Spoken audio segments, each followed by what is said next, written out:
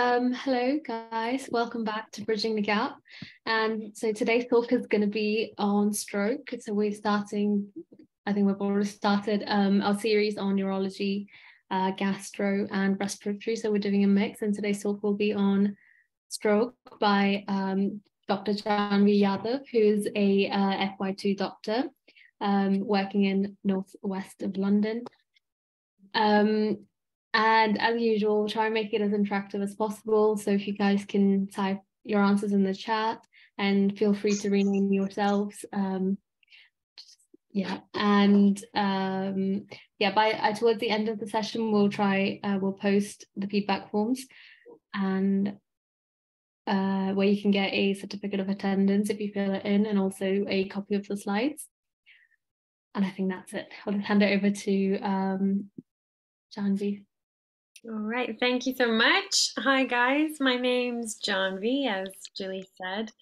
Um, and today I'm going to be talking to you guys about stroke. So, the following presentation, it's just a very um, brief summary of stroke, and it's the topic itself is quite broad, and there's a lot of specialist input that stroke requires. So, this is just the basics, what um, you as medical students in potentially final years um, should know for exams. Uh, but be wary that um, whenever you've got a stroke coming in, when you guys are F1s and F2s working in ED, always, always, always get the specialists in immediately because it's too complicated for you to be dealing on your own. Um, just a little bit about me. My name's Dr. Janvi Yadav. I'm an F2. I'm currently working on ITU, so there's quite a few um, stroke patients who come up to us requiring intubation and ventilation.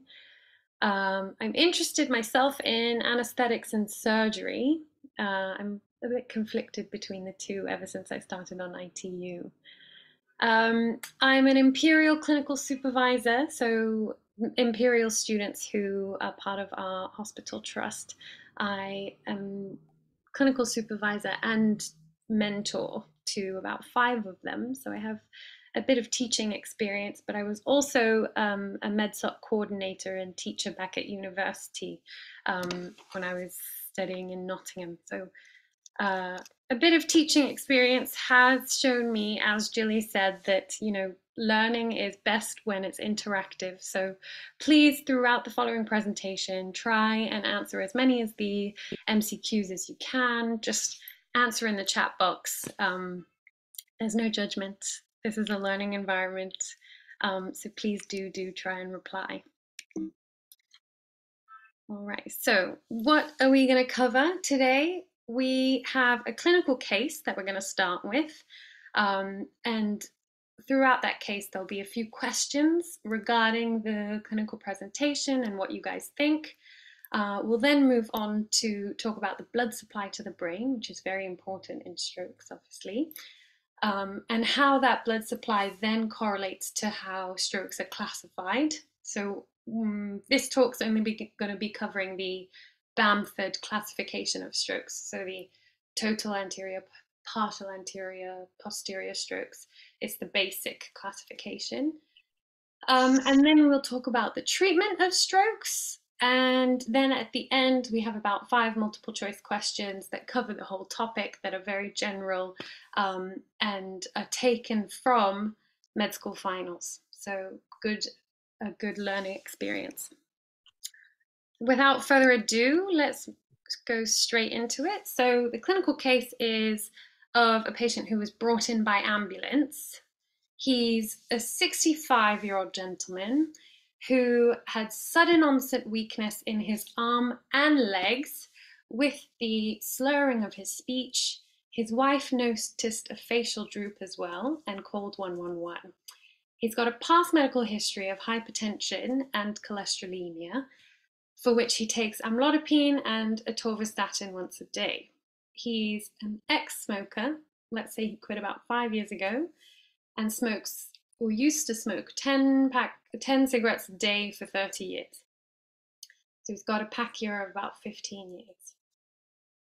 On examination, this is what you see. So cranial nerves, he's got a very subtle facial droop on the right hand side and his facial movements are asymmetrical with an eyebrow raise that's normal. He does also have slight uvular deviation to the right hand side.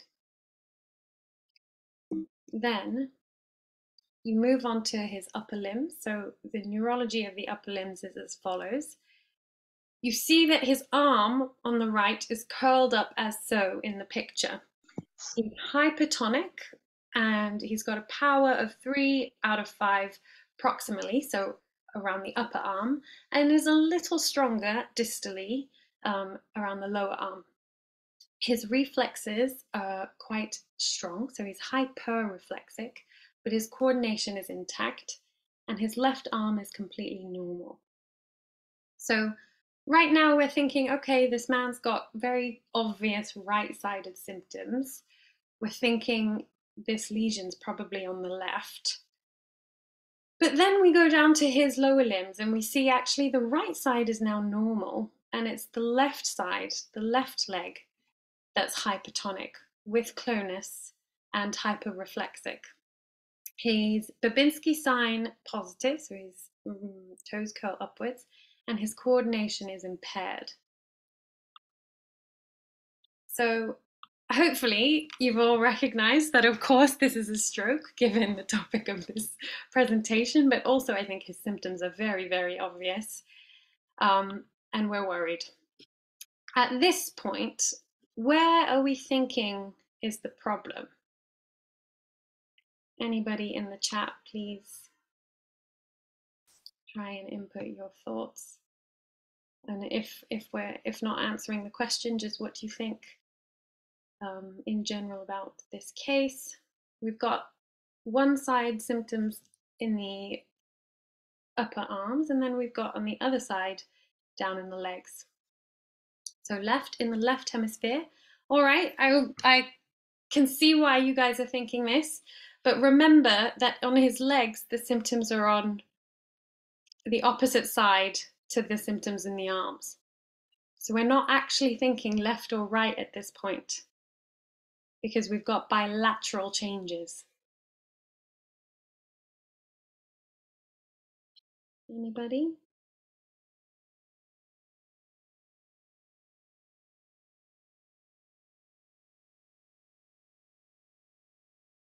Yeah, so it is either anterior or posterior, correct? And if we're thinking about strokes and the classification of strokes, when you have bilateral symptoms, left and right, you're thinking posterior. Okay, and we'll come into this a little bit later. This is just a little bit of a taster and to get our brains thinking about strokes. We will come into the classifications, don't worry. So, just to remind you, when you have bilateral symptoms, so if you've got weakness in the left arm as well as weakness in the right leg, you're not thinking about right or left anymore. You're thinking, okay, this is bilateral. It must be posterior, either the cerebellum or the midbrain or the pons. You're thinking posterior. Okay? It's an important concept. Now, this is his CT, which shows serial changes. So this is the um, one on the left is the initial CT, which if I can convince you, doesn't really show a lot because um, in strokes, your imaging is often evolving and initially it can be quite unconvincing. But there is a little bit of um, shadowing in the posterior area down here. And then three hours later, this is very obvious. Abnormal brain tissue, that brain's not happy. And then later on, the brain is starting to heal itself and recover, and the the infarct is smaller. So this is a posterior stroke that he's had. What do we think? Is this hemorrhagic or is it ischemic in nature, just looking at the images?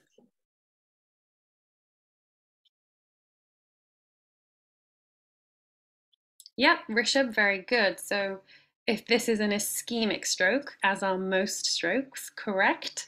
And the way that you can tell is by the color of of the lesion. So a hemorrhagic stroke would really show up as white, um, near white. And an ischemic stroke, as such, turns out darker than the actual brain tissue. So brain tissue is light grey, and when it's dead and it's lacking that blood supply and it's lacking the um, cell activity, it turns a darker colour on the CT. Okay, so this is an ischemic stroke that he's had. Interestingly, what is the significance of him having a normal eyebrow raise?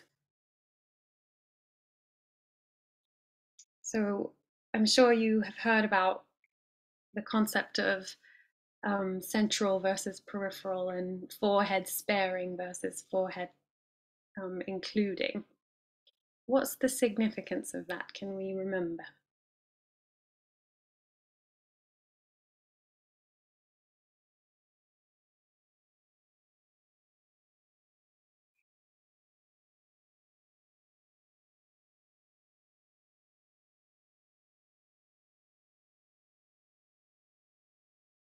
Okay, so it is a bit difficult.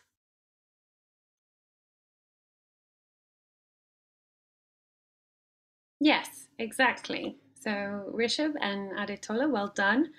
Um, when you have um, a normal eyebrow raise, when your forehead is spared, it shows that your lesion is central. So it's an upper motor neuron lesion rather than a peripheral lesion. All right, we've got a diagram um, later on to show you. Um, but why is it that the forehead is spared in an upper motor, upper motor neuron lesion? This is more complicated now, but we'll explain it.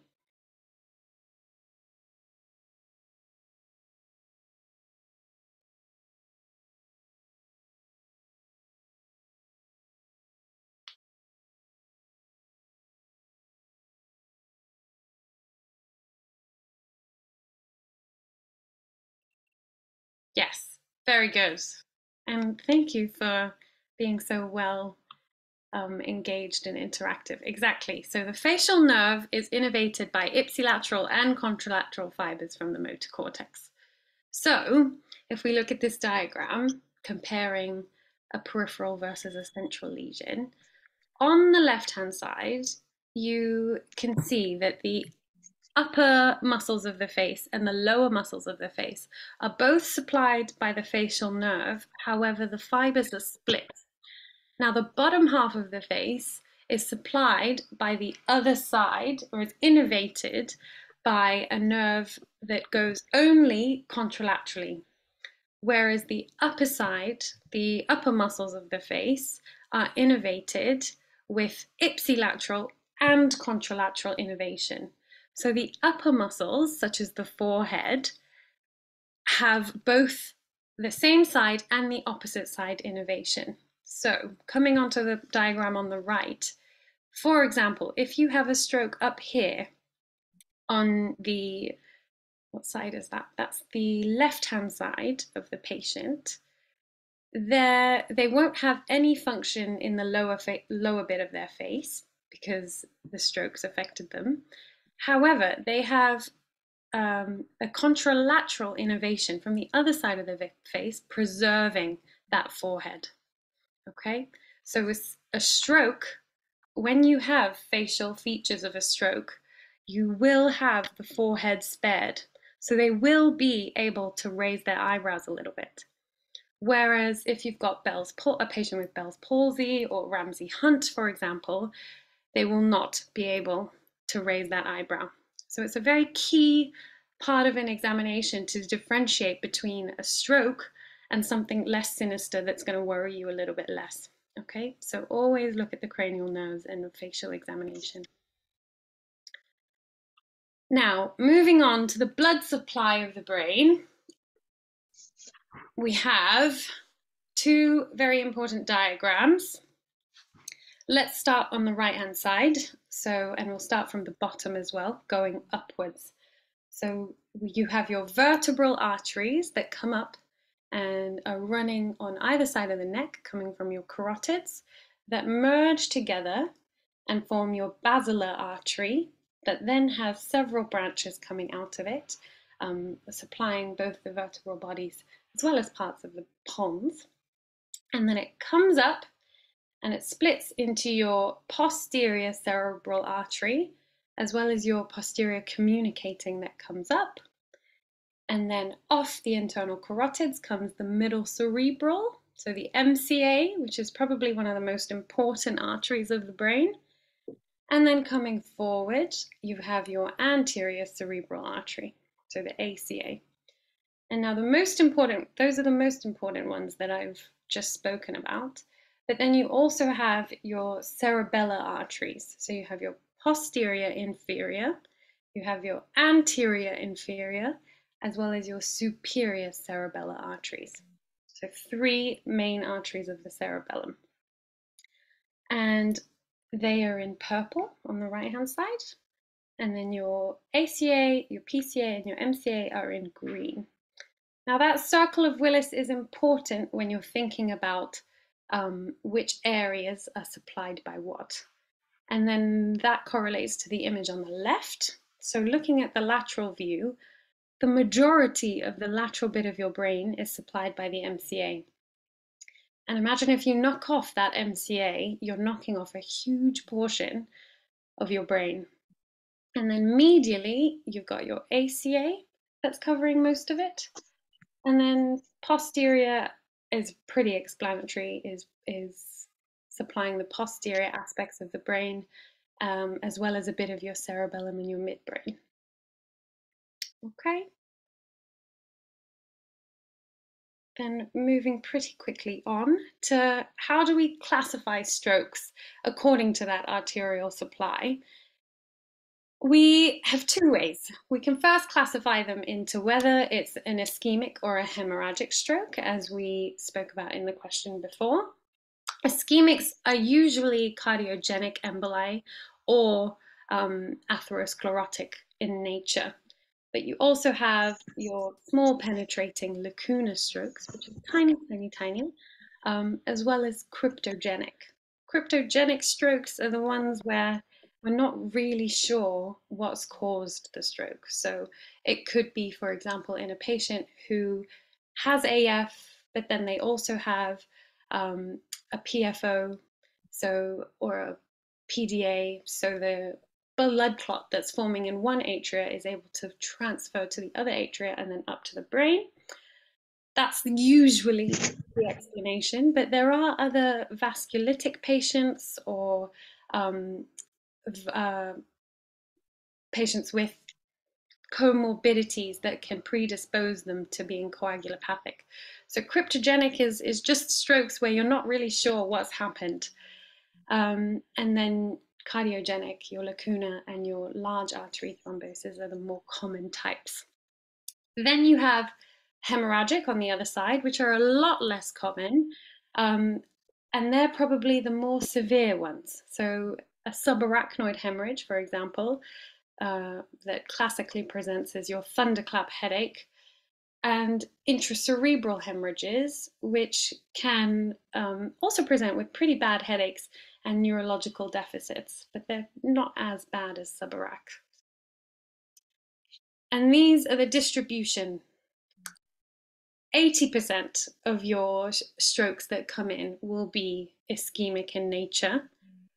And then the rest, 20%, will be hemorrhagic, only 5% of which would be subarachnoid in nature, the rest being intracerebral. And as I said earlier, as you can see on the left, the ischemic nature um, shows up darker. So the ischemic tissue over here is darker compared to the normal brain tissue. That's a pretty large territory of stroke over here. And then in the middle, we can see hemorrhagic. So the blood shows up much lighter, almost white. And that's how you can differentiate between the two.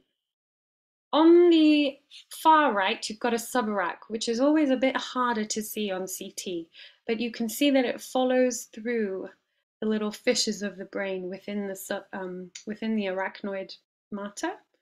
So here, and then over here, and then posteriorly as well. That's the subarach bleed. Okay.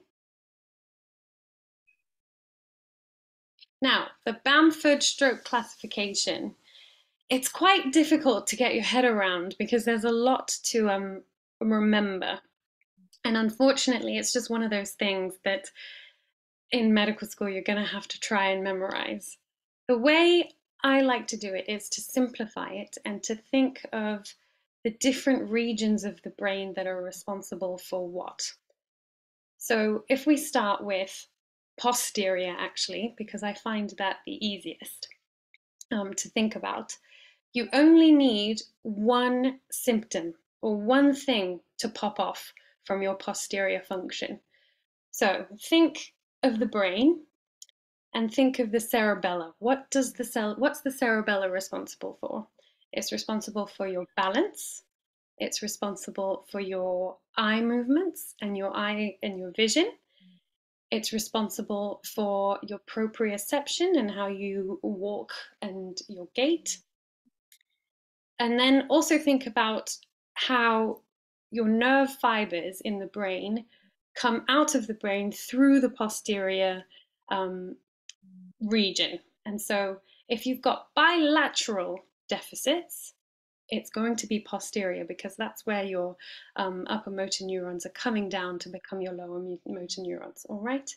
So any one of the posterior functions popping off will point you towards having a posterior circulation stroke. That's not very difficult to wrap your head around. Then if we move to lacuna as well, simple in the sense that you only need one of the following. Either pure sensory, so if you have a patient who comes in and says, oh, I've got a complete loss of sensation in my, in my lower left arm, and that's the only symptom they have, only that odd sensation, then you're thinking, all right, this isn't prob it's probably not a huge stroke. It's probably just one of those lacuna vessels that's been hit. Um, also, if it's just purely motor, if they have a sensory motor aspect, but it's just one um, sensory motor aspect, and if they only have ataxic hemiparesis, then you're thinking lacuna.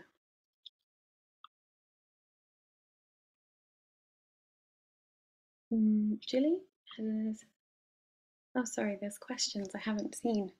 Would a subarach follow the course of the ventricles on the scan?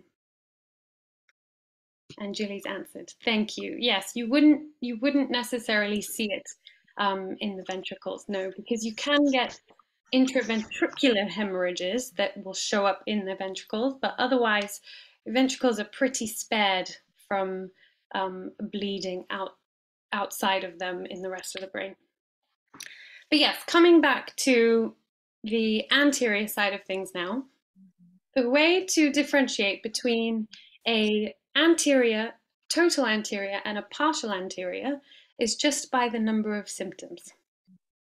So let's think of the worst severity, a total anterior circulation stroke. That's where you've blocked off um, completely your anterior cerebral artery, will have unilateral weakness, of the face, arm, and leg. You'll have homonymous hemianopia, which is when you can only see half. And you'll have a deficit of higher cerebral um, function. So, speech deficits, uh, visual spatial deficits, where you're unable to sort of tell where you are, you have memory issues. Um, and this is just another slide to show that. So, that in the middle is what homonymous hemianopia would look like for a patient where they can't see half of the visual field.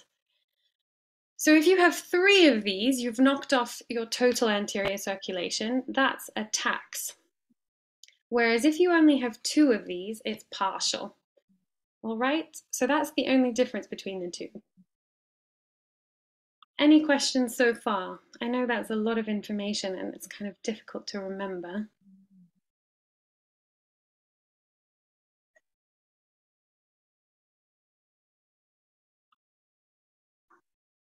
No. Okay, good. So TACS has three, PACS has two, and then for a posterior circulation stroke, you only need one of these. All right.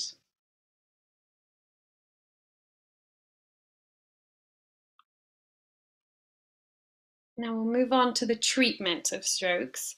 Because um, I'm in the UK, we're following the NICE guidelines. Okay, so these are treatments of strokes within the UK. America is pretty much the same, although their timelines are slightly different for when you can or can't give certain treatments. All right, but this, for the sake of this talk, we're following the NICE guidelines. So, what is, this is kind of a giveaway question because we've already seen quite a few, but what's the first line choice of imaging?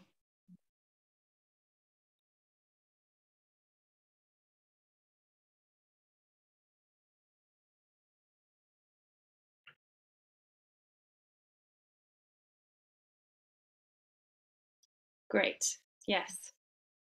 It's a CT head without contrast. Mm-hmm. This is quite important. So a CT is going to rule out a hemorrhagic stroke.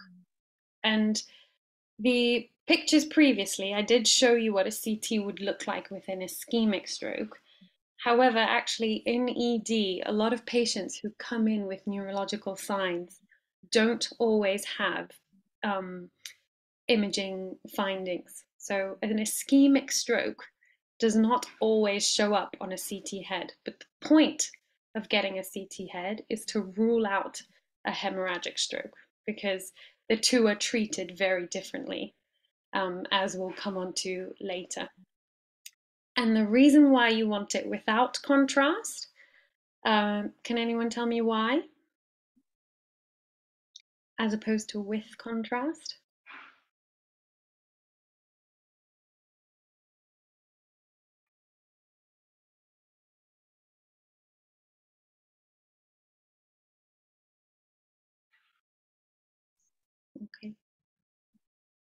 Yeah, exactly. So, um, Carl, you, you are going in the right direction in the sense that because we're only using this to rule out a hemorrhage, we don't want to be confused by what is blood and what is what is normal blood and what is hemorrhagic blood. So we want no contrast. We just want to see what this what the head looks like um, without any enhancing agents okay? Because contrast and blood can be confused. So a CT head without contrast, only to rule out hemorrhage, not because you can see ischemia on a CT, all right? Now, the treatment of stroke, an ischemic stroke, uh, this is important, it's only an ischemic stroke we're talking about here, is all dependent on the timing. So if a patient comes in with less than four hours uh, from the onset of their symptoms, then we're thinking thrombolysis uh, with um, a medical agent called alteplase and thrombectomy. Okay, so you would obviously call the stroke reg, tell them about the patient, um, and then they would be the ones to decide. But ultimately, the rules are if they come in almost immediately within four hours, they're going to be thrombolyzed and they're going to go for a thrombectomy with the neurosurgeons. If there's a bit of blur and they're presenting, let's say, about five hours, anywhere between four and six, you are thinking of thrombectomy. If they're greater than six hours, then now again the lines are kind of blurred and you'd have to get stroke input. You'd have to get an mri which is more um, definitive to locate where this stroke is coming from the location of the infarct and whether that would be amenable to thrombectomy or not. And then unfortunately in the cases where patients are presenting over 24 hours or if the thrombectomy is not possible then we're thinking just simply aspirin 300 milligrams once a day. Okay, so your thrombolysis cutoff is four hours. And as I said earlier, this timing differs in different places of the world. So depending on where you are, always check your um, guidelines. Okay, so in the UK it's less than four, but in the US it's less than three. And then I know um, parts of Asia they have actually more time, the window's greater to give alteplase. Now, this is only for ischemic strokes. In the context of a hemorrhagic stroke, you want to do an immediate neurosurgical re referral um, and see if they can take them for a craniotomy to try and drain out this blood. Okay? But because ischemic strokes, 80% of them are ischemic, this is important to memorize these timelines for ischemic strokes, okay? And I think everybody sort of understands the difference between thrombolysis and thrombectomy, right? If there's any questions, please just pop them in the chat.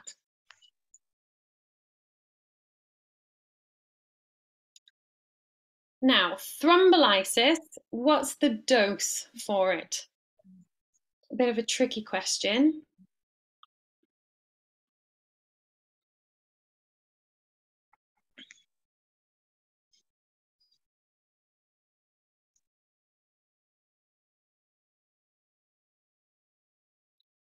Any takers?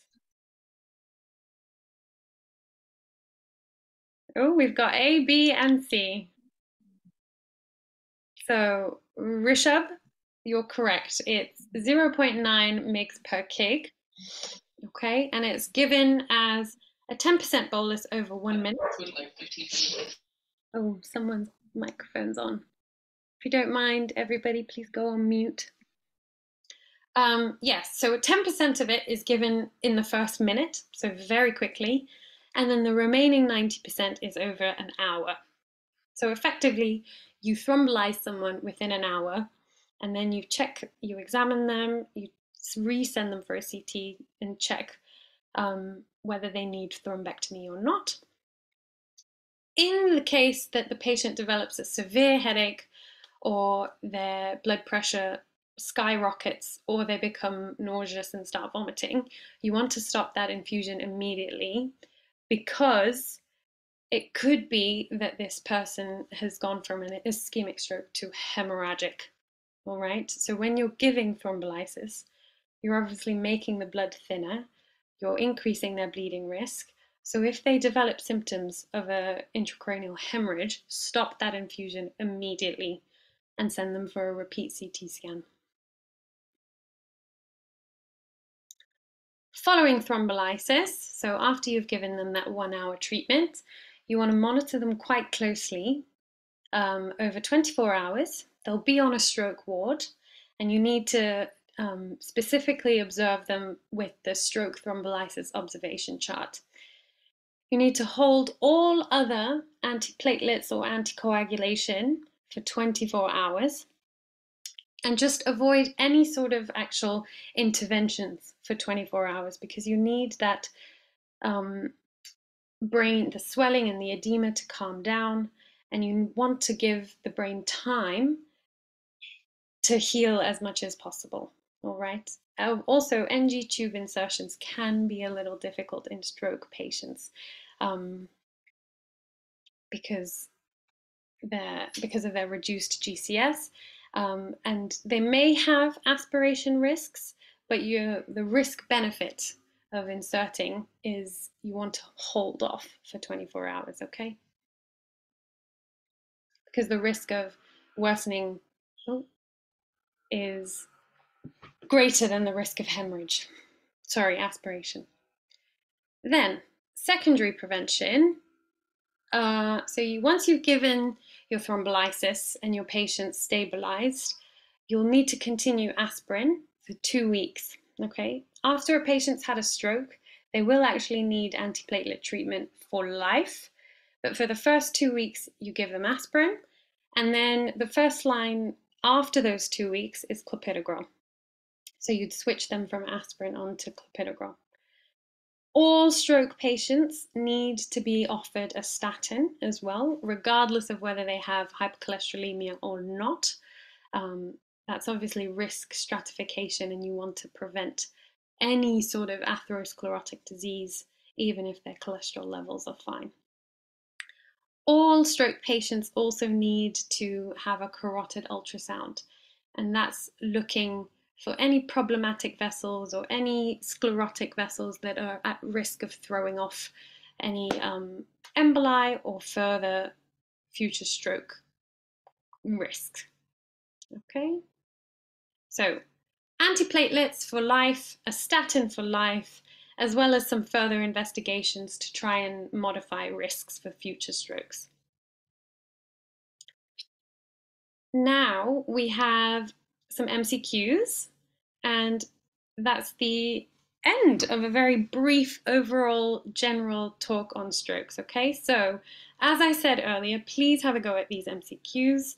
Um, and if you've got any further questions, let me know on the chat box.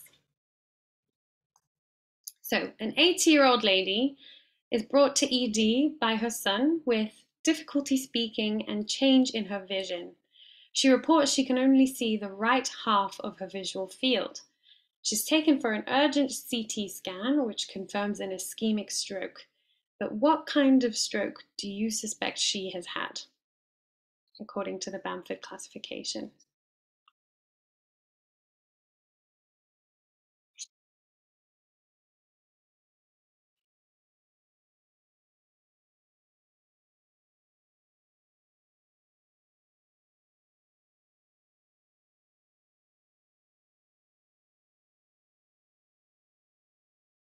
Okay, let's get some more answers in there.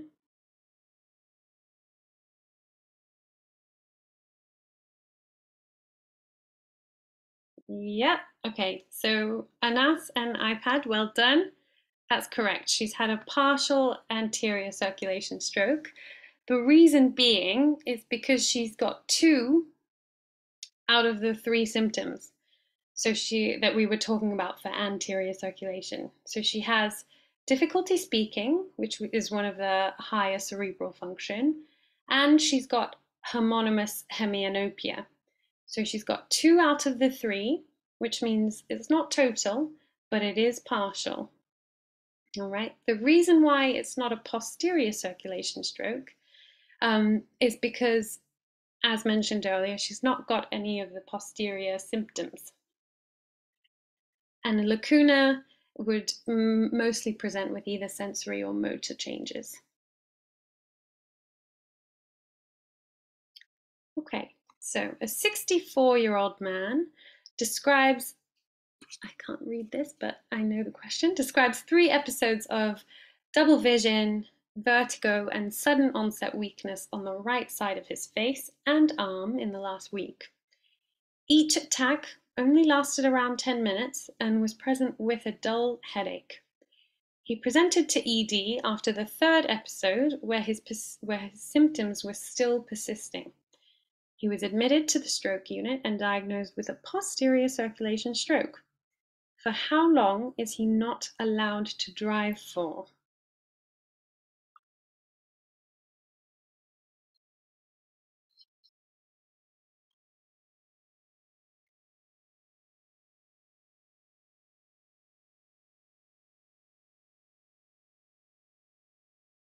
Okay, so we've got two people saying B. I'm going to give people some more time. Some people saying E as well. Mm-hmm. Any more for any more? So actually more people are saying E. Okay, so DVLA, which is the um, authorities for driving in the UK actually say that after a stroke, you're not allowed to drive for three months. But I see how this question is kind of confusing because obviously you need your symptoms to resolve. However, let's assume that in this case, he's been treated for his posterior circulation. His symptoms have resolved, let's say, a week after his admission.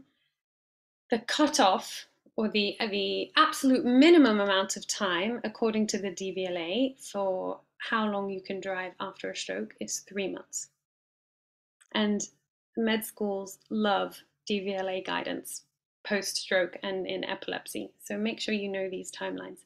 And yes, I'm sorry for the slightly confusion, confusing question. Of course, it would be um, after his symptoms resolve. But assuming that they do pretty quickly, you need at least three months before you're legally allowed to drive after a stroke.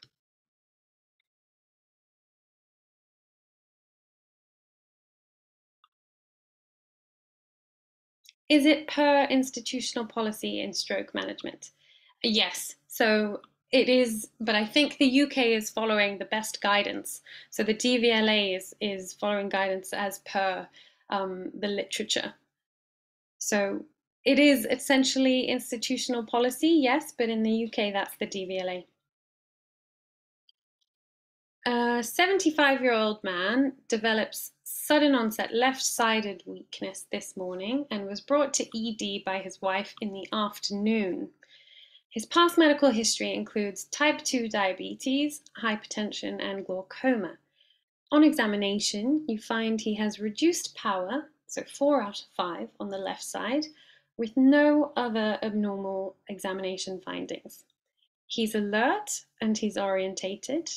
MRI shows a right thalamic infarct. What is the next best step in his management?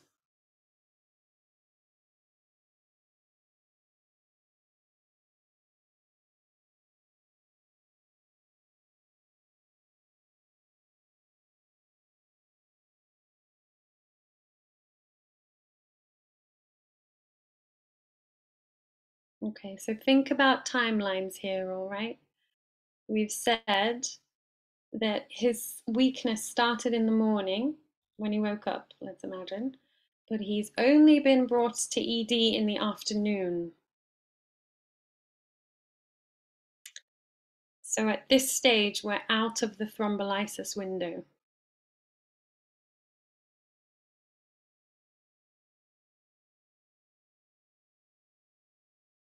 Any more? Yes, exactly, Mr. iPad. so we're out of the thrombolysis window. We can't give him any alteplase. We also can't throm um, take him for thrombectomy. So our only option really is to start him on the 300 milligrams of aspirin because he's out of the four hour and six hour window. Okay. Now, for those who've said anticoagulation, it's a bit of a trick or a bit of a mean um, option because I assume you're meaning thrombolysis when you answer A instead of actually anticoagulation because thrombolysis is different to anticoagulation and in strokes there's no um, role for anticoagulants such as a DOAC or warfarin. Um, you don't give anticoagulation in strokes. It's it's thrombolysis with alteplase and then antiplatelets. Okay. Ambulatory ECG monitoring, well, that would be important in a patient who also had AF. Okay. And then the clopidogrel is what you give after two weeks of aspirin. All right, now think carefully about this question again, okay? It's a bit of a trick. 65 year old woman developed sudden inability to speak properly while she was talking to her husband. She was brought to the hospital immediately. Her past medical history includes hypertension and osteoarthritis, for which she's on bendroflumethiazide and PRN codeine. On examination, she has word finding difficulties, but she's otherwise completely normal. Her blood pressure is 190 over 100. What's the next best step in her management?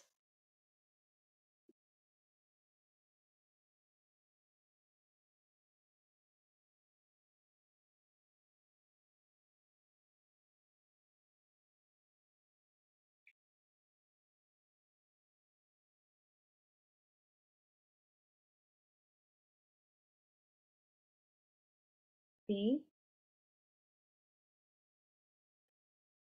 Let's wait for some more answers. Okay, so another person saying alteplase.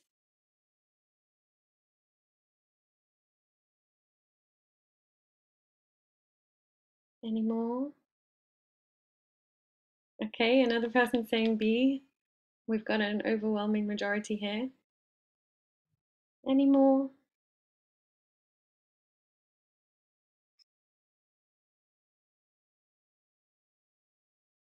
Okay, so in this lady, I agree that she's presented almost immediately to hospital, so we probably are in the window of four hours for thrombolysis. However, she has a contraindication, which is her blood pressure. So we'd need to bring down the blood pressure before giving alteplase. So this is probably the one and only contraindication to thrombolizing a patient is if their systolic is above 185. So I added in this question specifically so that we could talk about this because as expected, we most people think we could should go straight to alteplase and straight to thrombolysis. However, her blood pressure is too high. And the reason why that's an issue is if you thrombolize someone with that blood pressure, you're increasing their risk of hemorrhaging. Okay? So you really need to bring that blood pressure down to below 185 before you can thrombolize. So here we'd give her an antihypertensive before the alteplase. But well done to everyone who recognized that this lady is fit for thrombolysis otherwise. Okay? It was a trick question. now, another question that we haven't spoken about, but is very important to know. An 82 year old man presents to ED with right sided hemiparesis and hemianopia. He's already been given 300 milligrams of aspirin after his CT confirmed an ischemic stroke. During his hospital admission after the stroke, he's found to be in paroxysmal AF with a CHA2DS2-VASc score of 4. Now, when can we start anticoagulating this man after a stroke?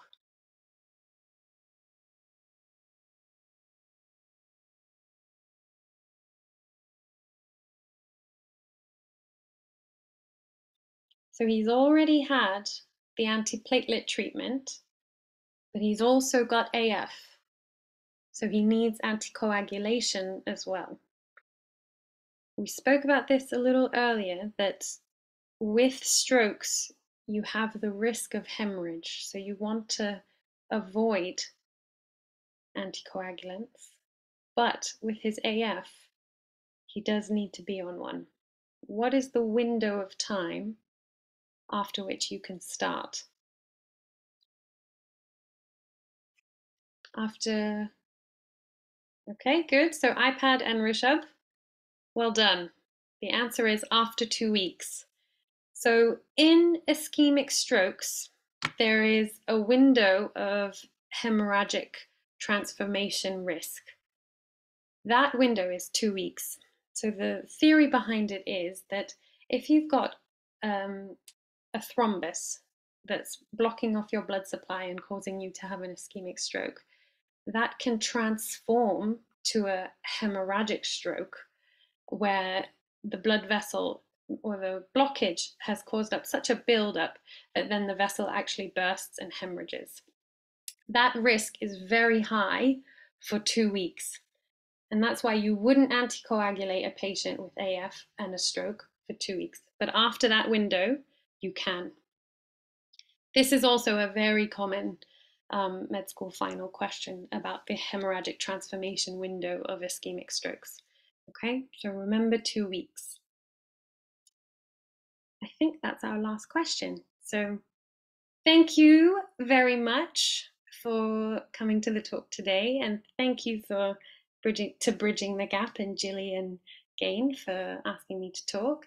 If anybody's got any questions, you can put them on the chat or you could email me as well. My email's down below, um, and I'm happy for people to message me or um, email with any questions at all. Also, please fill in the feedback with the QR code that's right there on the screen.